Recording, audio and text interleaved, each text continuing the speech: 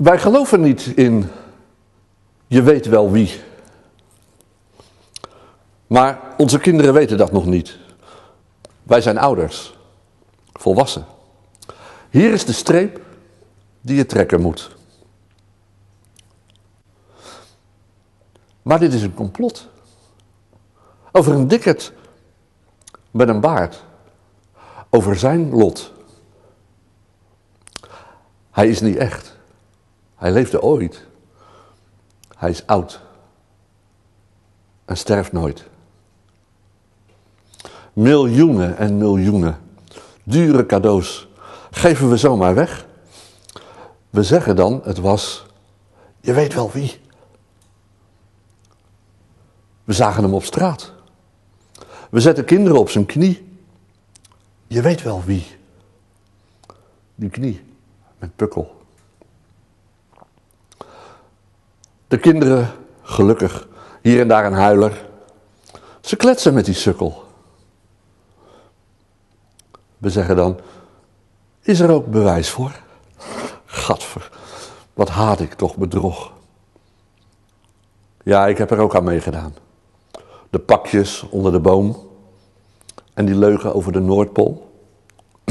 Geen kabouter leeft daar tof. We schrijven hem een brief. Naar nergens huizen. Waar hij woont.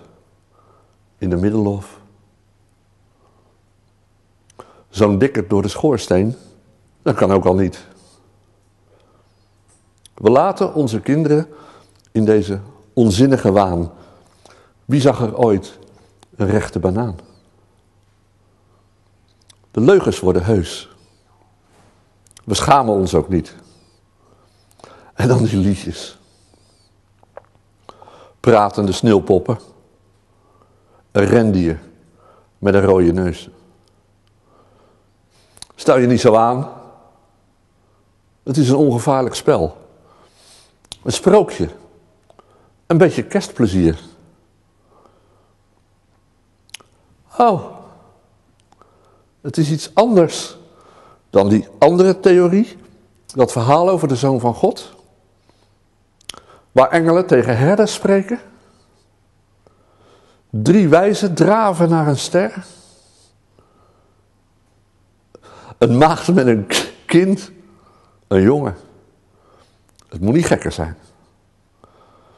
Wij zijn volwassen en slikken dit complot. We slikken het als dunne. Geef een wortel voor zijn paard. Melk en koekjes die verdwijnen. Hoe zat het met, de, met dat brood en met die wijnen? Geef me even lucht.